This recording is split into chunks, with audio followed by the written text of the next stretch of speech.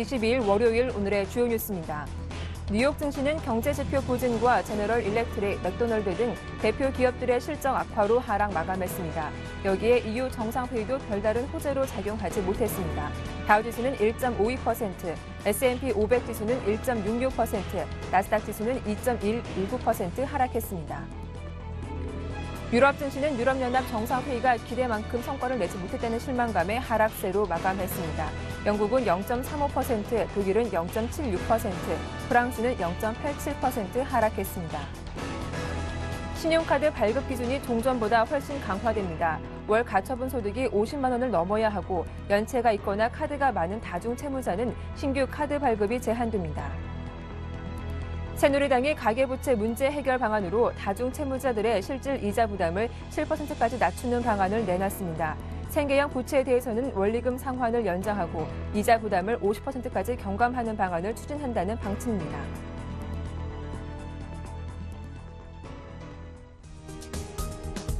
안녕하세요. 굿모닝 대박 예감 박미라입니다. 한 주를 시작하는 월요일 아침입니다. 지난 주말 뉴욕 증시는 넉 달 만에 가장 큰 폭의 하락세를 보였습니다. 3대 지수가 1에서 2%대로 떨어진 건데요. 이 미국을 대표하는 주요 기업들의 실적 악화 소식에 장 초반부터 차익 매물이 나왔고 경제 지표 또한 부정적으로 발표가 되면서 투자 심리를 더욱 위축시켰습니다. 자, 오늘 국내 증시 개장을 1시간 정도 앞두고 있는데요. 좋지 않은 소식들이 많다 보니까 부담이 되는 건 어쩔 수가 없겠습니다. 오늘 어떤 흐름 보일지 자세한 대응 전략 지금부터 살펴봐 드리겠습니다. 자, 첫 순서로 춘창환 대표와 함께 돌아오겠습니다.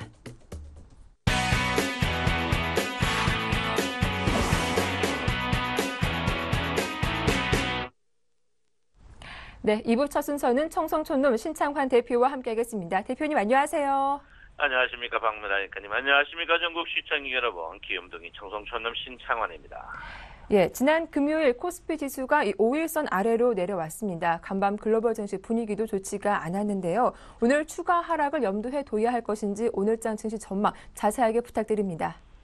예, 제가 볼 때는 오늘 적극적으로 어, 매수에 동참하는 날이 아닌가 이렇게 음. 생각합니다. 제가 여러분들께 이제 저점 1920포인트 때 적극적으로 매수하자 그리고 어, 계속 3일 연속 이제 매도 쉬어가자 했는데요. 예, 오늘은 제가 볼 때는 적극적으로 매수 타임에 동참해야 되는 부분이 아닌가 이렇게 생각합니다. 그래서 제가 볼 때는 오늘 어, 1920포인트 때는 적극적인 매수 타임 포인트 때다 이렇게 제가 볼 수 있습니다. 어, 물론 뭐 어떤 분들이 지금 현재 뭐 이 어, 300일 이평에 있는 1900까지도 갈 수 있다고 하는데요. 그거는 뭐 아직까지 한참 시간이 남은 것 같고요. 일단은 주가의 상승폭에 38% 조정받는 1920포인트 때는 적극적으로 주식을 일단은 매수하는 게 현명하지 않을까 이렇게 저는 생각을 하고 있습니다.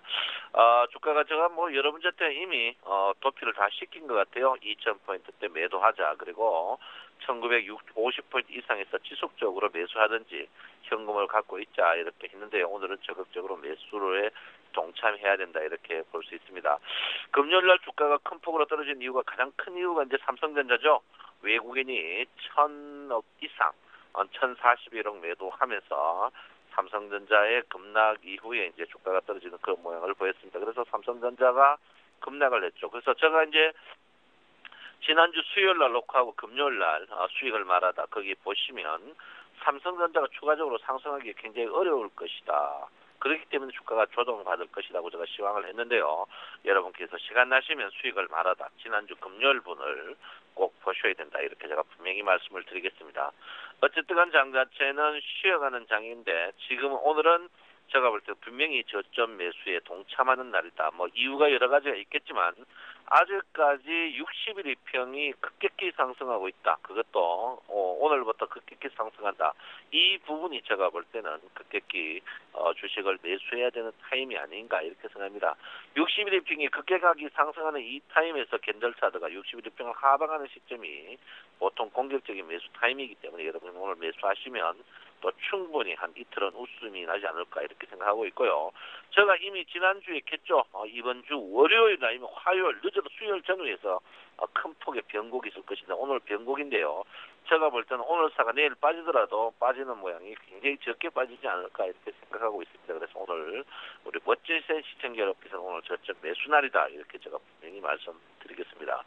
자 전체적인 장을 볼 때요 일목균형표로 볼 때 크게 세 가지의 변곡점을 볼 수가 있겠습니다. 세 가지의 변곡점을 볼 수 있겠는데 여러분 보다시피 지금 어, 주가는 본격적으로 이제 하락 국면 일본 치킨에서 반등 후에 하락할 걸로 저는 예상합니다. 일단 후행 span이 전환선의 데드 크로스 그리고 어, 전환선이 선행 span one의 데드 크로스 그리고 여러분에게 누차 말씀드렸습니다. 선행 span one이 하락하면 주가는 33에서 분명히 떨어진다고 했는데요. 일단 선행 span one이 하락이 어, 제가 볼 때는 오늘 지속적으로 조금 더 나, 오늘 마지막 날인데 어, 추가적으로 하락하기 하지는 않습니다. 그래서 오늘 제가 볼 때는 일단은 주가가 일단 이 선행 스팬 누원가 어, 전환선의 지지에서 주가는 일단 조금 반등하지 않을까 이렇게 생각하고 있기 때문에 우리 센치객 여러분은 적극적인 매수에 동참하는 그런 부분이 좀 필요하지 않을까 이렇게 생각을 하고 있습니다. 어, 전체적으로 지금 그 구름 형태로 봐서는요 양문의 마지막 종점이거든요. 그렇지만 지금 양문의 종점에서 어, 지금 양문 자체가 오늘부터 횡보를 합니다. 횡보 신저가 나면은 뭐 조금 움직이 횡보를 하기 때문에 그럼 선행 스팬 2가 움직여야 되는데 선행 스팬 2가 아직까지 움직이려면 날수가 아직까지 한 20일 정도, 한 달 정도 여유가 있습니다. 그래서 결론적으로 말할 것 같으면 한 달 정도는 주가가 제가 볼 때는 1910에서 1950 사이에 횡보, 지금 자리에서 횡보 국면이 계속 나올 것 같기 때문에 우리 시청자 여러분 짧은 방망이를 짚고 휘둘러셔야 된다 이렇게 볼 수 있겠습니다. 아무쪼록 장자체가 굉장히 어렵소. 그리고 역시 우리 서울 센 시청자 여러분께서는 우리 센, 시, 어, 센 TV의 시황을 보셨다면 분명히 모든 것을 면피하셨을 겁니다. 그래서 여러분께서는 지금 자리도 주가가 떨어지더라도 밥은 먹고 살아야 되듯이 수익을 내야 됩니다. 그래서 우리가 이 자리에서 1925포인트, 20포인트 매수해가 여기 매도했듯이 오늘 또 적극적인 매수에 동참하는 부분이다. 이렇게 보는데 그 자리가 제가 볼 때는 오늘 여러분께서 보다시피 선행 스팬 원자리에서 지지를 늦어도 받을 것이다. 선행 스팬 원자리가 1920포인트 전후기 때문에 여러분께서 20포인트 때는 적극적인 매수해가지고 장중에라도 매매를 해가 수익을 챙겨야 되는 그런 부분이다 이렇게 볼 수 있습니다. 자 고객의 tak힘이 계속 빠지고 있죠. 어, 제가 여러분 절대 믿을 게 못 된다 이렇게 못 된다 이렇게 말씀드렸고요. 금요일 날 수익이 이제 주가가 하락이 외국인이 삼성전자를 팔면서 어, 선물을 강력히 팔았습니다. 팔면서 주가가 빠지는데요. 오늘은 외국인 선물을 보지 마시고 기관의 동향을 한번 보십시오. 기관이 요즘 크레물린 같이 매매를 하고 있거든요. 기관 동향을 보시면 선물의 기관 동향만 꼼꼼하게 보시면 분명히 되지 않을까 이렇게 생각을 하고 있습니다. 지금 제가 이제 주가가 오늘 주가가 이제 브레이크 틀을 거로 생각하는 이유가 프로그램 매수가 어, 굉장히 강하게 하고 있습니다. 특히 기관들의 프로그램 매수가 지금 9조 5천억을 강하게 하고 있기 때문에 여러분께서 너무 걱정 안 하셔도 될 가능성이 있다 이렇게 보시고요. 최근에 이제 코스피 순매수 종목들 어, 기관들이 이제 기관과 외국인이 매수했던 종목을 보면 어, LG 디스플레이, 롯데 미도파 같은 삼성전기 특히 매수 매수 매도 물량이 굉장히 적습니다. 그래서 제가 볼 때는 기관 동력은 크게 뭐 삼성전자나 선물에 연계된 종목만 보면 되고 특별한 볼 필요가 없다 이렇게 볼 수가 있고요. 참 이번에 미국 증시가 어쨌든간 그 61평 61평에 거의 다 있는 그런 큰 하락이 있었습니다. 큰 하락이 있었는데 제가 볼 때는 뭐 당연히 전고점에서 제가 했죠. 저항을 받으니까 빠지는 자리에 빠지는데 어, 미국도 선물이 그 주식이 선행 스팬은 구림에서 지지를 받았거든요. 그래서 제가 볼 때는 오늘 또 우리나라 주식도 마찬가지로 선행 스팬 원 구름의 지지를 받지 않을까 이렇게 제가 예측을 하고 있는 그런 부분입니다. 어, 미증시가 이제 여러분 보다시피 가장 문제되는 게 이제 반도체 지수라고 무차 여러분에게 말씀드렸는데 반도체 전, 그 지수가 전저점을 갱신하는 이런 부분은 조금 모양이 안 좋습니다. 물론 뭐 모양 안 좋은 거는 누구나 알고 있기 때문에 어, 제가 볼 때는 저 반도체의 지수가 전저점을 깨고 있습니다만은 추가적으로 빠진다 해봐야 굉장히 미세하게 빠지는 양이다 이렇게 볼 수 있습니다. 그래서 제가 볼 때 우리나라 증시도 지금 반도체 지수하고 똑같이 빠졌거든요. 그래서 제가 볼 때는 지금 자리에서 제가 볼 때는 뭐 많이 빠져봐야 1900 언저리에서는 분명히 브레이크 들었으니까 1920에서 매수해봐야 1900 까봐야 0.6% 정도 정도 여유밖에 어, 빠지지 않습니다. 그래서 제가 볼 때는 적극적으로 매수 한- 해야 되지 않을까 보고요. 또 주가가 이래 빠지니까 1,800, 1,700 이런 식으로 뻐꾸기를 뻑뻑뻑뻑 거리는데 그때 빠질 때 빠지더라도 일단 단기적으로는 먹어야 된다 이렇게 볼 수 있겠습니다. 자 요즘 선물의 동향이 굉장히 중요하죠. 제가 누차 여러분에게 말씀드립니다. 첫째 이제 1965가 중심선이었고 1955가 중심선이었다. 그 다음에 여러분 보다시피 아직 중심선이 잡히지 않고 있습니다. 중심선이 잡히지 않고 있다는 것은 주가가 오늘 일단은 이제 그 제가 이제 그 1955.75에서 끝났는데 일단 1955를 하방 이탈합니다. 때 이탈의 근원이 여러분 보다시피 1940 249.50에서 지지를 받고 있거든요. 그래서 제가 볼 때는 250 전후 250 만약 깬다면 적극적인 매수에 동참해야 된다. 제가 이 동군 어, 동군 원을 그대로 놔두겠습니다. 이 자리에서 분명히 선물이 브레이크를 듣고 반등할 국면이 나올 것이다. 이렇게 저는 보고 있습니다. 그래서 이런 부분을 볼 때 여러분께서는 절대 너무 민감하게 대응하지 마시고 냉정하게 대응하셔야 된다. 이렇게 볼 수 있고요. 여러분 주식하시는 분 선물 꼭 빼야 됩니다. 선물 안 빼면 안 되고요. 선물을 기본적으로 모른다는 것은 근본적으로 안 된다. 이렇게 볼 수 있습니다. 그래서 제가 볼 때는 오늘 선물 250 전후에서는 콜을 한번 하셔가지고 하셔야 된다. 특히 무게 중심 자체가 워낙 위쪽에 큰 무게가 265, 적은 무게가 255에 있기 때문에 지금 250 전후에서 콜을 매수하, 단기적으로 콜 매수하시는 건 절대 부담이 없다. 그리고 주가가 빠지더라도 255 언제까지는 재반등 후에 하락하지 않을까 이렇게 저는 생각을 하고 있습니다. 그래서 너무 민감하게 대처하지 마시고 오늘은 차분히 매수했었다. 장중에 2% 이상 나오면 장중에 매도하시고요. 특히 제가 오늘 여러분에게 말씀드리고 싶은 거는 선물이 어, 주가가 삼성전자가 만약에 지속적으로 오늘 장중에 조금이라도 반등이 없다면은 어, 오늘 매수했는 걸 매도하지만 장중에 반등이 저점보다는 캔들차트가 양봉이 난다면은 오늘 주식을 하루 정도는 오버를 해도 어, 괜찮지 않을까 이렇게 저는 생각합니다. 그래서 여러분 오늘 다른 거 볼 필요 없습니다. SEN TV 보면서 첫 번째 SEN TV 볼 것, 두 번째는 여러분 기관의 선물 볼 것, 어, 세 번째는 여러분 삼성전자의 주가 동향 이 세 개만 보시면 분명히 오늘 확실하게 대응하지 않을까 이렇게 생각합니다. 여러분 또 한 주가 시작됐습니다. 항시 그리운 얼굴이 많습니다. 파이팅 하시고 여러분 힘내시기 바랍니다. 여러분 내 마음 아시죠? 사랑합니다. 청성촌놈 신창환입니다. 네. 자, 오늘 장에서는 적극적으로 저점 매수해보자라는 말씀 해주셨습니다. 잘 참고하시기 바랄게요. 지금까지 청성촌룸 신창환 대표와 함께 했습니다.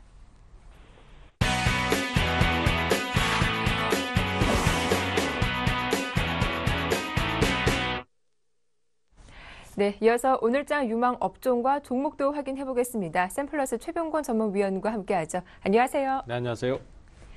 예, 먼저 종목 AS부터 시작을 해보겠습니다. 지난 9월 14일 추천받은 KH 바텍이라는 종목인데요. 이 매수 매수 가격이 8,000원에서 8,600원 사이 그리고 목표가 만 원이라고 하셨는데 지난 금일 목표가를 훌쩍 또 뛰어넘었습니다. 계속 보유해 봐야 할까요? 아니면 이익 실현해야 할까요? 예, 지금 현재 그 기관들이 선호하는 전기 전자 관련, 특히 스마트폰 부품주나 아니면은 또 모바일 게임 관련주는 역시 강세를 계속 좀 보이고 있습니다. 그래서 어, 뭐 시장의 조정이 나오고는 있습니다만은 종목들이 계속해서 돌파를 하는 모습도 보여주고 있고요. 네. 또 중장기 전망은 역시 앞으로도 시장의 전망이 밝습니다. 따라서 이번에 조정 자체를 받고는 있기는 하나 이 조정 자체가 극단적인 상황으로 치닫지만 않는다면은 조정을 마무리 잘 짓고 다시 한번 또 상승세를 타는 흐름이 나올 수도 있습니다. KH바텍 같은 경우에도 이제 좀 중기적으로 보셔라라는 얘기를 드렸었는데 현재로서는 아주 빠르게 진행을 하는 테마 성향을 띠지는 않고 차분히 올라가는 형태를 띠고 있습니다. 그래서 어, 지금도 상당히 좋은 진행을 보여주고 있는데요. 물론 뭐 제시했던 목표가는 도달했습니다만은 어, 최근에 그 매수가 또 계속 들어오면서 거래량을 증가시키면서 좋은 모습을 계속 보여주고 있습니다. 그래서 좀 더 추가적인 상승을 기대를 해 보셔도 좋을 것 같고요. 또 뭐 물론 뭐 매도를 한번 하고 다시 또 재매수를 하는 것도 괜찮습니다. 어, 추가적인 상승이 나오게 된다면은 지금 현재로서는 대략적인 가격적으로 12,500원 정도까지 추가 목표가를 한번 세워볼 수 있습니다. 그래서 지금 가격대에서 약 한 20% 정도 추가 상승을 한번 노려보실 수 있고요. 이러한 부분들이 결국은 이제 그 관련 업종이나 관련 종목군들의 상승을 계속 이끌게 될 것이기 때문에 꼭 이 종목이 아니더라도 지금 바닥권에서 탈출하는 그 IT 관련주가 있다라면은 분위기가 좋아질 것으로 예상이 되기 때문에 그쪽으로 포커스를 맞춰 가시는 것이 맞겠다. 네, 이렇게 좀 정리가 되겠습니다. 네, KH 바텍 최근 매수세가 유입되면서 거래량도 늘고 있기 때문에 보유하신 분들은 12,000원까지 목표가를 상향 조정해봐도 괜찮겠다라는 말씀해 주셨으니까요. 잘 참고하시기 바랄게요. 이어서 오늘자 눈여겨볼 만한 업종 어느 업종일까요? 예, 오늘 말씀드릴 종목은 기관 선호 종목군입니다. 그 네. 지금 현재 기관들이 사실 매수를 하는 종목들만큼은 시장이 최근 들어서 어, 거래소도 그렇고 또 코스닥도 그렇고 같이 조정을 좀 받은 상태입니다만은 어, 기관, 기관들이 선호하는 종목군은 그다지 큰 조정을 안 받거나 아니면 빠른 회복세를 보여주고 있는데요. 이것은 결국은 아직까지는 기관 투자자들이 지수 자체에 대해서 매도를 할 생각은 없다라는 것으로 의미를 해석하시면 되겠습니다. 뭐 어차피 시장이 앞에서도 그래 왔듯이 상승세를 탈 때도 사실 선호 종목 몇 가지만 올라가는 모습을 보였었고 또 이런 종목들이 추세를 계속 살렸던 것은 조정이 나올 때도 역시 마찬가지입니다. 조정이 나올 때도 주도 종목군이 무너진다라면 그 시장 자체가 완전히 붕괴가 되면서 상황을 어렵게 가져가는 것입니다만은 어, 주도, 조- 주도 종목 자체가 무너지지 않고 버텨주는 형태로 진행을 한다라면은 이것은 이제 시장 자체가 조정을 받더라도 어, 단기간에 조정에 거치고 다시 한번 추가적인 상승 흐름을 탈 수 있다라는 것을 의미하게 됩니다. 근데 최근의 모습을 보면은 기관들의 매수가 외, 어, 외국인들이나 기관들의 매수가 강하게 들어오면서 선호하는 종목군은 빠르게 반전 포인트를 잡고 있습니다. 특히 금요일 날 같은 경우에 그런 모습들이 더 두드러졌었는데요. 지수 자체가 반전하는 모습 자체가 그 종목들의 반전에 의해서 나왔었고 또 시가총액 상위 종목의 1위인 셀트리온 같은 종목이 급등세를 타면서 지수를 땡겨주는 모습이었는데요. 이런 것들로 봤을 때 시장이 앞으로도 중장기적인 흐름은 그대로 유효한 것을 알 수 있고요. 또 지수만 반전하는 지수만 반전하고 종목이 반전 안 하는 이런 사태를 미연에 방지를 하기 위해서라도 시가총액 상위나 아니면 기관 투자 선호도가 높은 그런 종목군들을 공략을 해야 될 것입니다. 지금 보시면은 종목들의 몇몇 종목들을 좀 살펴보시면요. 게임빌 같은 경우에도 기관들이 선호하는 대표 종목군입니다. 주가가 크게 빠지지도 않고 계속해서 유지를 잘 하고 있는 모습인데 이것은 이제 뭐 시장의 흔들림에 크게 요동치지 않는다라는 것으로 해석을 할 수 있고요. 요번에 반등 시도가 나왔을 때도 고점 돌파가 나온다든지 아니면은 옆으로 계속 기어가는 형태의 진행이 나온다라면은 시장은 앞으로 또 추가적인 상승세를 탈 수 있음을 의미합니다. 이는 곧 어, 그동안 시장이 계속 4년 동안 넘지 못했던 특히 코스닥 시장이 4년 동안 넘지 못했던 540에서 550포인트 정도를 조정을 주면서 한번 숨고르기를 하고 다시 넘어갈 수 있다는 것을 의미하게 됩니다. 어, 그러하기 때문에 이런 종목군들이 주도가 된다면은 이제 어, 시장이 그대로 살아날 수 있다는 것을 해석을 할 수 있고요. 그 밖에 또 선호 종목인 컴투스라든지 또 파라다이스 같은 종목들도 요즘 같은 경우에는 기관들의 선호도가 굉장히 높습니다. 뭐 그 밖에 또 파트론이라든지 뭐 앞서 말씀드렸던 KH 바텍 같은 경우에도 기관들 선호도가 높은 종목들이거든요. 이런 종목들은 사실상 추세를 깨고 내려간 것이 없습니다. 최근에 급락 나온 것은 대부분 다 정치 테마나 아니면 급등세를 탔던 종목들이 계속 급락을 했기 때문에 그런 종목들만 제외가 된다라면은 지금 시장은 굳건히 살아있다라는 것을 의미할 수 있습니다. 그래서 어, 앞으로도 이런 쪽으로 방향을 좀 잡으셔서 일부 종목이라도 편입을 좀 하시는 편이 좋다라고 판단을 하고 있고요. 어, 지금 현재로서는 뭐 셀트리온 같은 종목들도 상당히 좀 시장에 관심을 많이 받기 때문에 이런 종목들에 대한 적극적인 편입 노려볼 만하다 이렇게 말씀 좀 드리겠습니다. 네, 오늘은 기관의 매수가 들어오고 있는 종목 좀 눈여겨보자라는 말씀 해 주셨는데요. 그렇다면 그 가운데 어떤 종목 추천하시겠어요? 예, 사실 기관 투자 종목은 사실 주가가 많이 오르는 종목들이 많아서 선택하기가 좀 쉽지는 않은 편인데요. 어, 상승을 하고 있는 와중에도 단기간에 조정이 좀 급하게 나왔을 때 포인트를 잡는다면 참 좋은 타이밍을 잡을 수 있습니다. 그래서 오늘 가지고 나온 종목은 마크로젠인데요.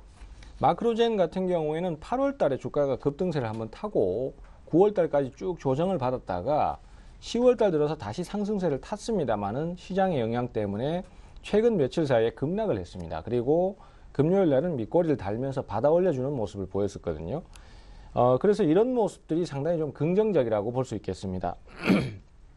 그리고 특히 기관들이나 외국인들의 선호도가 높기 때문에 어, 차트상 눌림목 포인트를 노리신다면 좋은 타이밍이 나올 수 있을 것으로 생각을 하고 있습니다. 특히 이제 어, 박스권을 형성하는 모습도 좀 보이기 때문에 박스권 하단에 저점 매수를 하신다면 좋은 타이밍이 나올 것으로 그렇게 판단을 하고 있고요. 매수가는 아무래도 지금 시장이 조정을 좀 받는 관계로 분할 매수 접근이 좋다라고 판단하고 있습니다. 그래서 3만 원에서 3만 3천 원권 사이를 분할 매수 접근을 하시고요. 목표가는 3만 8천 원 정도 보도록 하겠습니다. 그리고 손절가는 2만 8천 원 정도로 조금 타이트하게 잡도록 하겠습니다. 네, 오늘의 관심 종목 마크로젠 살펴봤습니다. 관심 있으신 분들 대응 전략 잘 참고하시면 좋겠네요. 지금까지 샘플러스 최병권 전문위원과 함께했습니다. 도움 말씀 고맙습니다. 네, 감사합니다.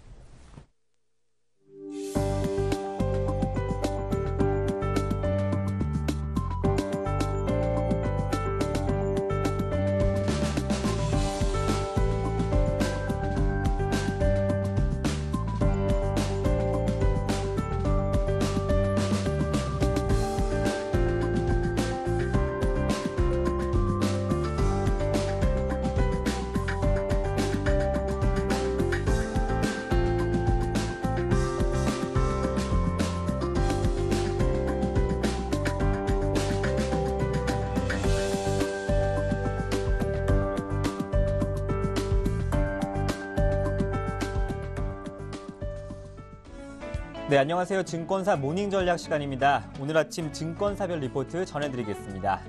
먼저 하나대투 증권부터 살펴보시겠습니다. 네, 하나대투 증권입니다. 종목에 대해서 롯데쇼핑입니다. 3분기 실적 부진 전망하면서 하지만 수익성 개선 중이라며 2013년 영업이익 플러스 성장 가- 전환 가시화 전망으로서 투자 의견 buy 의견 주셨습니다. 네, 다음은 토러스 증권 살펴보겠습니다. 종목은 KB금융입니다. 업종 전반적으로 부진한 상황에서 KB금융은 또 자산과 이익 부문 성장성에서 두각을 나타낼 전망이라며 투자 의견은 buy를 유지했고 목표 주가는 45,100원 제시했습니다. 다음은 대신증권 살펴보시겠습니다. 하나금, 하나금융지주에 대해서 투자 의견 buy 목표 주가 5만 2천 원 제시했는데요. 외환은행 잔여 지분이 인수가 내년 상반기에 실행될 것을 예상하면서 2013년 추정 손익 1.6조 또 외환 잔여 지분 인수 시 2조 원으로 ROA가 0.7% 상승할 것이라고 예상했습니다. 네, 다음으로 한국투자증권 살펴보시겠습니다. 종목에 대해선 다음을 투자 의견 중립으로 하향했습니다. 자체 검색 광고 상품 확대 수익이 의미 있게 증가시키기 어려울 전망으로 보면서 3분기 실적은 컨센서스를 하회할 것으로 예상했습니다. 네, 다음은 신영증권 살펴보시겠습니다. 제이콘텐츠입니다. 방송 부문 실적 개선 가속화가 또 방송 부문 흑자로 전환할 전망이라면서 투자 의견 매수 유지했습니다. 네, 지금까지 증권사별 종목들 살펴봤습니다. 그렇다면 하나대투증권 연결해서 오늘장 전략과 또 신규 편입 종목에 대해서 자세히 알아보겠습니다. 하나대투증권 임진수 대리님 안녕하십니까? 예, 안녕하십니까? 네, 오늘장 전략 자세히 소개해 주시죠. 예, 저희는 뭐 원달러 환율의 어떤 decoupling에 대한 건- 견해 이렇게 네. 잡아봤는데요. 먼저 국외를 좀 살펴보겠습니다. 뭐 지난주 중반까지 미국 금융주의 earning surprise로 분위기가 약간 개선되었었는데요. 네. 어, 센티멘탈은 그 주 후반으로 갈수록 다시 위축되었고 그 중심에는 그 IT가 있었습니다. IBM, 뭐 인텔, 뭐 AMD 등 실적이 대부분 예상치를 밑돌았고요. 또 4, 4분기 전망도 보수적이었기 때문인데 뭐 이런 IT 경기의 우려는 당분간 이어질 것으로 일단 예상되지만 글로벌 경기가 일단 3, 4분기를 기점으로 반등 가능성이 높아지고 있다는 점을 주목해야 할 것 같고요. 일단 국내적으로 볼 때는 일단 환율 부분이죠. 그 최근 금융시장에서 나타나고 있는 특징 중 하나가 주식시장의 불안에도 불구하고 그 달러 대비해서 원화의 가치가 추세적인 강세 흐름을 좀 이어가고 있다는 점인데요. 어떤 일각에서는 그 과거 원화의 강세 전환이 세계 경기 회복과 또 그에 따른 수출 정- 어, 성장이 동반되었 던 것과는 달리 그 현재는 펀더멘털 측면에서 큰 변화가 없다는 점을 지적하면서 그 워낙 강세의 성격을 좀 평가절하하는 논자도 있습니다. 하지만 그 어떤 형태의 것이든지 워낙 강세는 그 주식시장의 관점에서는 워낙 약세나 변동성 확대보다는 긍정적이라고 보는 것이 좀 맞을 것 같고요. 특히 그 주식시장의 변동성은 원달러 환율의 어떤 변동성과 밀접하게 연동이 되어 있고 또 역사적으로 보더라도 환율의 변동성이 안정되어 있는 국면에서는 주식시장의 변동성 안정과 함께 주식 어, 추가적인 어떤 상승을 이어갔다는 점을 역시 근거로 들 수 있겠습니다. 또는 이에 따른 구체적인 섹터 대응 전략을 좀 살펴보면요, 어, 내수 관련주 또 외화 부채 관련주, 금융주 쪽의 어떤 전략이 유효하다 이렇게 보고 있습니다.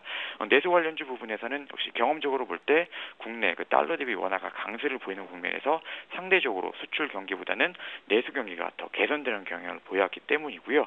어, 둘째는 달러 부채가 많은 기업들인데요. 역시 원화가 강세를 볼 경우 외화 관련 손익이 크게 개선될 가능성이 높아서 어떤 항공 운송, 유틸리티, 조선주들 유망하다고 보여지고요.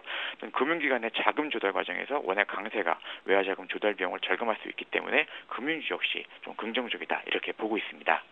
네, 하나대투증권 오늘장 신규 편입 종목으로 롯데쇼핑 매수 의견 주셨는데요. 자세한 설명 부탁드리겠습니다. 예, 역시 그 롯데 미도파의 합병으로 재무 구조가 개선되고 있다는 점이 가장 네. 초점이 될 것 같습니다.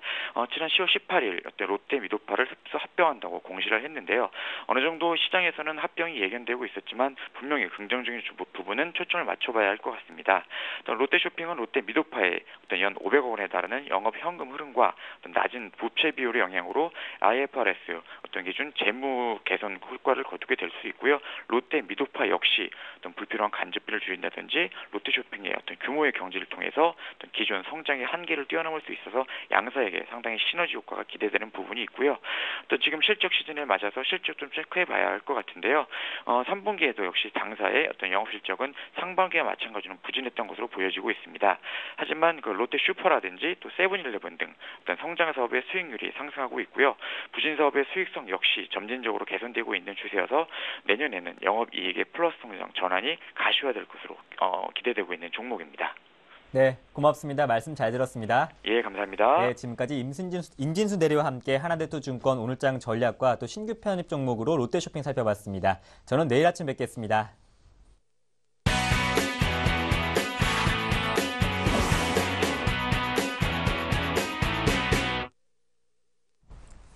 네, 이번 순서는 눌림목 종목을 찾아보고 오늘자 이슈 포인트를 체크해보는 시간입니다. 앞으로 1부가 아니라 2부 시간에 만나게 될 분이시죠. 샘플러스 이상로 전문위원님 나오셨습니다. 안녕하세요. 예, 반갑습니다. 네, 자 오늘부터 새로 시작하게 된 코너인데요. 이상로의 눌림목을 찾아라. 먼저 어떤 코너인지 궁금하기도 하고 오늘 첫 번째로 찾아볼 종목 어떤 종목인가요? 예, 일단 먼저 오늘 장에 대해서 네. 어느 정도 좀 생각을 해봐야 되는 체크 포인트를 한번 알아보도록 하고요. 네. 거기에 대해서 어, 종목별로 한번 보면서 아 왜 여기가 눌림목이 되는가 그리고 음. 우리가 거기에 대해 투자 가치를 한번 더 판단할 수 있는 계기가 되는 좀 시간이 됐으면 좋겠다는 생각을 좀 하고 있습니다. 네, 저도 좀 기대가 많이 되는데요. 오늘 처, 처음으로 살펴볼 종목은 어떤 종목인가요? 어, 예, 오늘 장에서 한번 좀 살펴보셔야 되는 종목은요. 첫 네. 번째로 일단 디스플레이텍이라는 종목을 좀 먼저 말씀을 드리겠습니다. 어, 일단은 디스플레이텍에 대해서 어느 정도 좀 말씀을 먼저 드릴까요? 그러면 네. 어, 일단 디스플레이텍 같은 경우에는 어, 어느 정도의 틈새 시장을 공략하고 있는 종목이고 기업이다. 그렇게 먼저 말씀을 좀 드리겠습니다. 왜 그런 말씀을 드리냐면 어, 안에서 일단은 기업적인 부분으로 하는 부분을 한번 보시면 좋겠는데요. 어, 일단은 지금 최근에 가장 이슈가 되고 있는 거는 AMOLED죠. AMOLED 그리고 터치 패널 업체들입니다. 어, 하지만 디스플레이텍 같은 경우에는 아직까지 LCD 모듈을 개발하는 거고요. 네. 그래서 주요 매출처가 어디냐고 한번 살펴보셨을 때 일단 주요 매출처 같은 경우에는 유럽 쪽에 틈새 시장을 좀 공략하고 있다. 그렇게 보시면 좋겠습니다. 그래서 우리가 흔히 아는 거는 갤럭시 S를 우리가 흔히들 알고 있죠. 하지만 디스플레이텍 같은 경우에는 갤- 갤럭시 S를 만드는 게 아니라요. 갤럭시 W 그리고 갤럭, 갤럭시 M이라는 음. 보급형 스마트폰을 좀 만드는 회사다. 그런 네. 거에 대해서 매출 자체가 일단은 유럽 시장이라든지 아니면 음. 중동 쪽에서 매출이 나타나고 있기 때문에 그런 네. 부분 한번 집중해 보시자. 그렇게 좀 말씀을 드리겠습니다. 네, 이 유럽의 틈새 시장을 공략하고 있는 기업이다라는 말씀을 해주셨습니다. 디스플레이텍 말씀을 해주는데 눌림목을 찾아라라는 코너이니만큼 아무래도 주가가 조금 눌림목, 좀 조정을 받고 있는 그런 기업이겠어요. 예, 맞습니다. 네. 일단은 실적적인 부분을 봤을 때는 일단은 뭐 전년 동기 대비해서 지금 실적 영업이익 부분은 100% 정도 올랐거든요. 네. 하지만 실적 지금 주가 추이를 한번 같이 한번 살펴보시면요. 어, 일단 기술적 분석이 어느 정도 조금 중요하다고 좀 말씀을 드릴게요. 음, 거기에 대해서 지금 대부분의 지금 이평선 자체가 지금 2,500원대 그리고 2,200원대 분포되어 있는 것을 보- 보실 수 있을 겁니다. 어, 거기에 대해서 지금은 어느 정도의 어, 한 번의 상승 뒤에 지금 다시 20일선에 부딪히는 모습이 나타나고 있는데요. 그래서 우리가 일봉상으로 조금 더 어, 변환해서 같이 한번 살펴보신다면 어, 일단 지금 같은 경우에는 어, 영업이익 측면에서 우리가 한번 계산을 해본다. 2,500원대면 어, 최소 두배 가량 뛰었었는데 그러면 실적적인 부분을 한번 평가했을 때도 아, 5,000원에서 4,500원, 5,000원 정도까지는 가야 되지 않겠나 그런 생각을 해봤거든요. 거기에 대해서 지금은 4,200원대 한 번에 어, 고점이 한 번 있었습니다. 그러고 난 다음에 거래량면으로도 한번 살펴보시더라도 상승할 때는 올라가죠. 쉽게 말씀드리면요. 대신 네. 하락할 때는 그렇게 큰 물량 자체가 떨어지지 않습니다. 그만큼 아직까지 내재되어 있는 물량 자체가 있다는 거고요. 거기에서 가격적인 부분을 한번 살펴보셨을 때도 지금은 어, 3,600원에서 3,700원 자체는 여기서는 더 이상 내려가게 되면 다시금 추세 이탈 부분이기 때문에 우리가 가장 최적의 매수 조건을 가지고 있는 기업이 아닌가 예. 그렇게 좀 말씀을 드릴 수 있겠습니다. 그래서 그런 부분 자체를 좀 더 읽어보실게요. 그래서 좀 음, 우리가 차트적으로 좀 자세하게 한번 살펴보신다면요. 일단 첫 번째 어느 정도의 윗꼬리가 달리면서 어, 밑에 거래량이 좀 나왔습니다. 어느 정도 하방 자체를 좀 지켜주는 매물로 좀 판단을 해야 될 것 같고요. 거기에 대해서 음봉 두 개가 차례대로 나왔지만 어느 정도 반등은 없었죠. 하지만 세 번째 다시금 어, 거래량 없는 음봉이 나오면서 다시금 2,600원대를 지켜주는 결과치를 나타냈습니다. 그만큼 어, 어느 정도의 3,600원대는 지지 구간이라고 좀 생각을 하셔야 될 것 같고요. 그래서 우리는 어, 매수가 같은 경우 한번 잡아본다면 3,600원에서 한 3,700원 정도를 좀 생각하시고 공략을 해볼 만한 종목이 아닌가 그렇게 좀 말씀드리겠습니다. 그래서 그러면 이런 종목군은 손절선을 잡기도 상당히 쉽죠. 그래서 하단에 보신다면 지금 같은 경우에 3,500원 정도를 좀 손절선을 좀 잡으시고요. 그리고 1차 목표가 같은 경우에는 단기적으로는 전 고점까지 4,200원까지 바라볼 수 있는 자리 그리고 어, 중기적인 목표가를 한번 생각을 하신다면 5,000원까지는 충분히 갈 수 있지 않겠나. 그래서 정, 음, 신고가죠. 5,000원 이상이 되면 그 정도까지 한번 생각해 볼 수 있는 자리다. 그렇게 좀 말씀드리겠습니다. 네. 그럼 3,500원이 이탈된다면 추세 하락에 대한 염려가 있기 때문에 바로 손절을 해야 되는 거죠? 예, 맞습니다. 네. 예. 알겠습니다. 자, 다음 살펴볼 종목은 어떤 종목인가요? 예, 그리고 한 가지 더는 이제 네. 어, 주식을 하시는 분들은 한 번씩 다 이름은 다 들어보셨을 겁니다. 그래서 이민주 회장이라는 어, 뭐 분이 계시죠. 그분 같은 경우에 일조 거부로 좀 알려져 있는데요. 네. 일조 거부 그분이 어느 정도 지금 DNA 링크라는 어, 회사에 좀 투자를 했습니다. 그 회사에 대해서 우리가 한번 눌림목을 한번 잡아보자. 그렇게 좀 말씀드리겠습니다. 음, 일단 DNA 링크 같은 경우에 기업적인 부분 한번 보신다면요. 지금 SK 케미칼과 공통적으로 하고 있는 임무가 있죠. 그래서 유전체를 대해 분석을 하고 거기에 대한 판매 상품을 조금 판매를 하고 있습니다. 그리고 상용화까지 나왔고요. 그런 부분에서 지금 뭐 향후 성장성이 조금 기대되는 기업이다. 결론적으로 좀 말씀을 드릴 수 있겠고요. 거기 안에서 내용을 보신다면 이민주 회장이 좀 스타일을 좀 보실 필요가 있겠는데요. 이민주 네. 회장 같은 경우에 투자를 했던 곳이 심텍 그리고 한 가지 더가 어, MDS 테크라는 기업에 좀 투자를 많이 했었죠. 어, 그 두 가지 기업을 한번 보신다면 일단 심텍 같은 경우에는 점유율 1위 기업이고요. 그리고 어, MDS 테크 같은 경우에는 embedded 소프트웨어라고 하죠. 차량용 소프트웨어의 독보적인 기술을 가지고 있습니다. 그만큼 투자를 할때 어느 정도의 투자 스타일을 보신다면 향후 성장성이 확실히 기대되는 기업이라든지 아니면 점유율 1위 기업을 하고 있지만 지금 DNA 링크 같은 경우에는 유전체, 유전체 분석 쪽에는 1인자다. 그렇게 좀 말씀을 드릴 수 있겠고 지금의 실적도 꾸준히 나타나고 있습니다. 하지만 향후에 좀 폭발적인 어느 정도의 성장성이 좀 기대가 되는 기업이 아닌가 그렇게 말씀을 드릴 필요가 있겠고요. 그래서 음, 디스플레이텍 같은 경우에 좀 단기적으로 보시는 경향이 있다면 일단 DNA 링크 같은 경우에 조금 더 길게 보시는 흐름이 좀 필요하지 않겠나 그렇게 좀 말씀을 드릴 수 있겠습니다. 어, 그리고 우리가 안에서 기술적 분석으로 한번 같이 한번 살펴보신다면요. 일단 주봉상으로 한번 먼저 살펴보시겠는데요.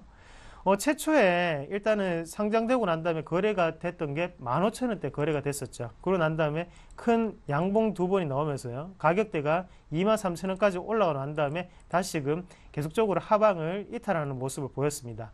어, 하지만 지금 같은 경우에는 하방에 보신다면 지금 쌍바닥 패턴을 띄고 난 다음에 올라가는 패턴이죠. 그래서 한 번의 바닥과 다시금 두 번의 바닥을 찍고 난 다음에 올라가는 패턴이거든요. 그래서 지금 가격대가 조금 공략하기에 좀 쉽지 않겠나 그렇게 말씀을 드릴 수 있겠는데요. 그만큼 동반할 때 거래량 자체가 어느 정도는 상승을 했었고요. 거기에 대해서 거래량 또한 계속적으로 주가에 따라서 올라가는 모습을 나타냈고 다시금 내려오는 모습이죠.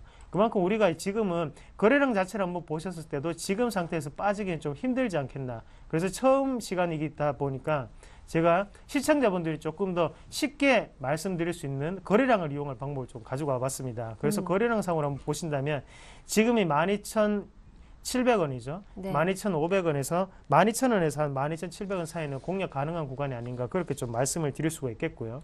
그래서 우리가 지금 하방을 주봉상으로 봤을 때는 어느 정도가 쉽게 나타나는 경우지만 어, 일봉상으로는 상당히 지금 조금 안 좋은 모습을 나타내고 있습니다. 왜 그렇게 말씀을 드리냐 하면요.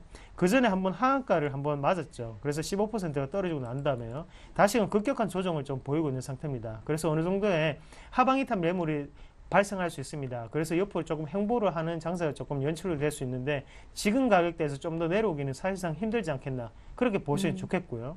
그리고 우리가 뭐 DNA 링크뿐만 아니라 디스플레이뿐만 아니라요. 지금부터 눌림목 공략을 할 때는 항상 손절가는 좀 짧게 잡겠습니다. 대신에 상방으로 목표치 자체는 조금 높게 잡는 방법이 좋다고 좀 생각을 하고요. 그래서 지금 DNA 링크 같은 경우에도 12,000원에서 12,700원 상태를 매수가로 보신다면 일단은 손절가 같은 경우에는 하단에 11,400원 정도를 좀 생각하시면 좋겠다고 좀 말씀드릴게요. 그리고 목표가 같은 경우에는요.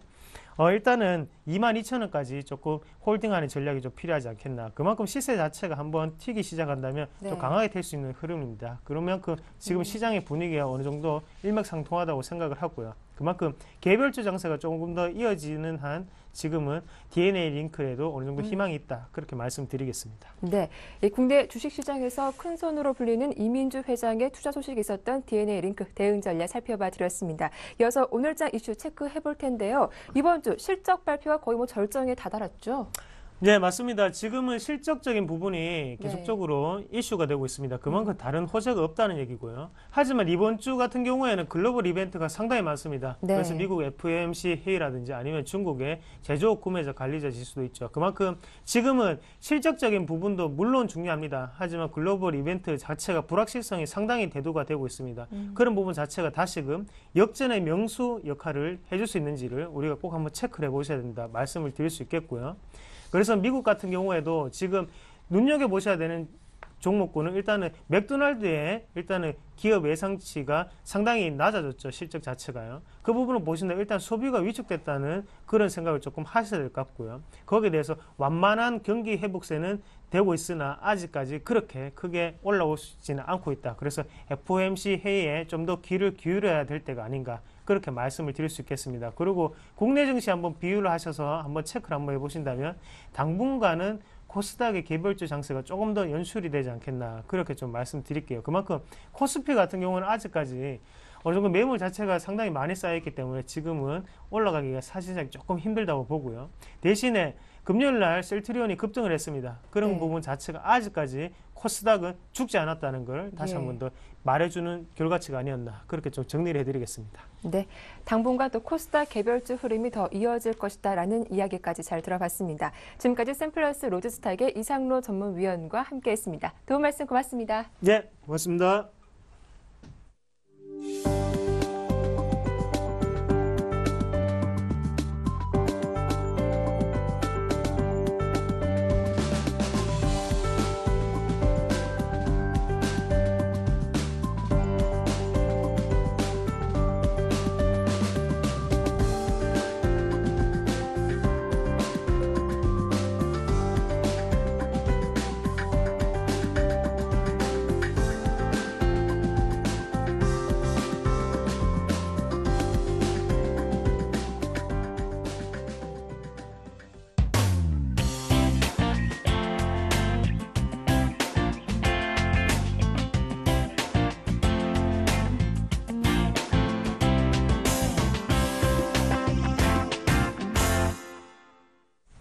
네, 청개구리 사단의 오늘장 대응 전략 시작하겠습니다. 먼저 샘플러스 양순모 전문위원 만나보죠. 안녕하세요. 네, 안녕하십니까. 양순모입니다. 네, 간밤 미국 기업들의 실적 악화 소식에 뉴욕 증시 급락세가 나왔습니다. 코스피 예상 체결가를 보니까 코스피 코스닥 모두 1% 이상 빠지고 있는데요. 오늘 차트를 통해서 시황 전망 분석해 주시죠. 네, 오늘은 일단 뭐 뉴욕 증시의 약세로 인해서 어, 코스피가 일단 추가적으로 대밀릴 경우에 대한 그 지지 구간을 좀 체크를 해놓고 봐야, 어, 보셔야 될 것 같은데요. 일단은 1차로 1930포인트 기준으로 지지력을 다시 테스트를 좀 받아야 되는 국면이지 않는가라고 일단 보여집니다. 다음으로 만약 1930포인트가 이탈이 됐을 경우에는 1900포인트까지도 우리가 지금 좀 열어놓고 보셔야 되는데요. 어, 지금 자리에서는 1930포인트에 대한 지지 테스트 구간이 만들어진다면은 오히려 지수는 1980포인트까지는 재차 일단 반등이 가능하다라는 시나리오를 가지고 있습니다. 제가 이제 그 누누이 시장 어, 시황을 좀 강조를 드리면서 보자라고 했던 부분들이 있죠. 바로 외국인들의 투자자들의 수급 동향을 우리가 확인을 하자라고 말씀을 드렸습니다. 근데 그 내용을 우리가 어디서 유추를 해볼 수 있냐면은 바로 환율 차트를 통해서 우리가 알아볼 수 있다라고 말씀을 드렸습니다. 지금 보통 우리가 통상적으로 알고 있는 이론으로는 환율이 떨어지면은 지수는 반등이 나오고 반대로 환율이 상승하면 지수는 하락한다라고 알고 있다. 근데 일반적으로 지금 우리 코스피 차, 아, 환율 차트만 놓고 본다면은 추세는 여전히 무너졌으며 하락 추세로 진행이 되고 있다는 겁니다. 즉 환율이 지금 하락 진행 중이지만 우리 코스피 차트를 놓고 봤을 때에는 오히려 어 다른 뭐 횡보를 하거나 혹은 지금 하락 추세를 보여주고 있다는 그 양극화 현상이 좀 나타나고 있는데요. 여기에는 지금 환율 쪽에서 1,100원을 좀 이탈할 흐름들이 나타나고 있습니다. 과연 오늘 어, 이, 사, 이 자리에서 환율이 급반 어, 해외 지수의 하락으로 인해 어, 하락으로 인해서 환율이 강한 상승을 보여줄 경우 여기에 대한 우리가 어, 여부를 두고 어, 체크를 하셔야 될 것 같은데요. 오늘 환율상으로는 1114원을 넘지 않는다면 여전히 저는 1980포인트까지는 어, 반등이 나올 것이다. 그러니까 장중 해외 시장으로 연동이 된 부분들을 우리가 배제를 하고 어, 볼수 있다라고 말씀을 드렸죠. 그래서 지금 자리에서는 좀 지수의 상승보다는 횡보 구간 및 1930포인트를 재차 확인하는 그런 흐름들이 필요할 것으로 보여지고요. 추가 악재는 지금 제한적이지만 그러나 반등은 좀 쉽지 않은 흐름들이 나오고 있습니다. 지금 거래소 동향으로 놓고 봤을 때 평균 거, 어, 거래 대금이 3조에서 4조 원 수준대에서 계속 움직이고 있는데요.